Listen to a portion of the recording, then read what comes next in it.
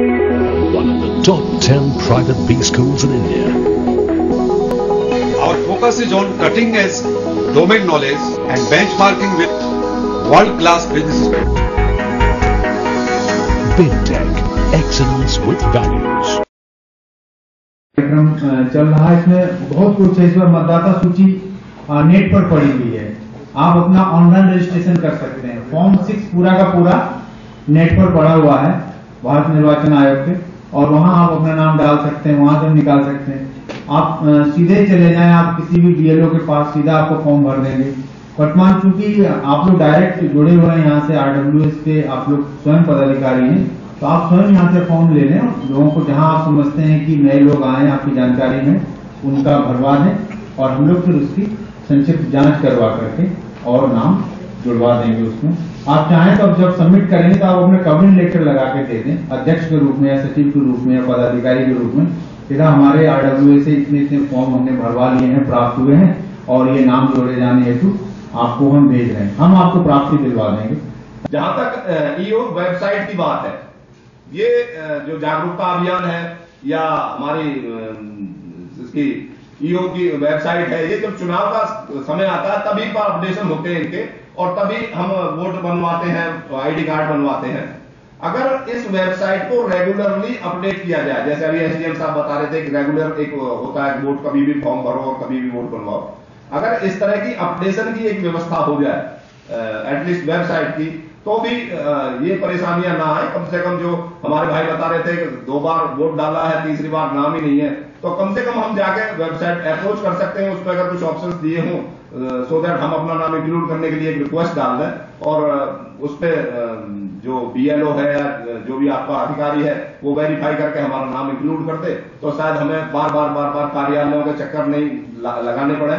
और बड़ी स्वाभाविक सी बात है कि अगर दो तीन चार बार कोई आदमी फॉर्म भर रहा है और उसका नाम नहीं आता है तो बड़ी परेशानी हो जाती है। सर एक सॉफ्टवेयर डेवलप किया था भारत निर्वाचन आयोग ने।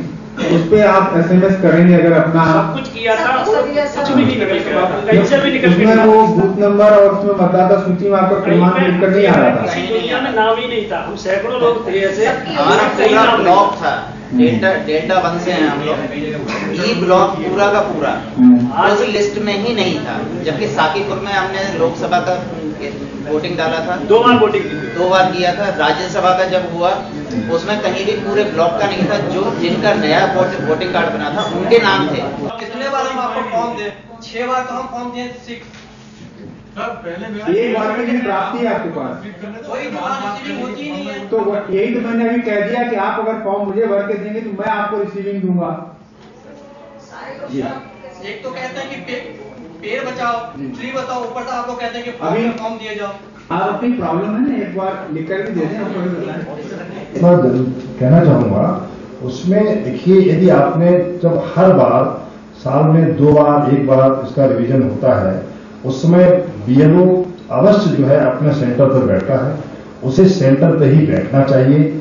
कुछ लोग मुझे फ़ोन करते हैं। मैंने अपना फ़ोन डिस्प्ले कर रखा है। तो मेरे पास आज सुबह एक फ़ोन आया। मैं नाश्ता कर रहा था। बोला कि रामपाल बोल रहे हैं कहा जी मैं बोल रहा हूँ। तो रामपाल, ये बताइए कि वो फार्म छह मुझे कहाँ जमा करना है? तो मैंने कहा, आप बोल कहाँ से रहे हैं? बोला, मैं सेक्टर फला से बोल रहा हूँ। क्या, कौन बोल रहे हैं आप? बोला, मैं राम बाबू बोल रहा हूँ।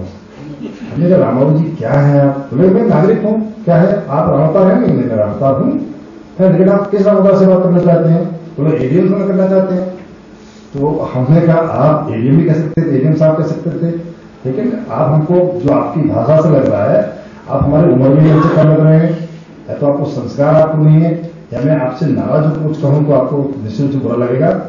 तो बोला, नहीं, सर मैंने फिर बाद में उन्होंने अपना चेंज किया। मैंने कहा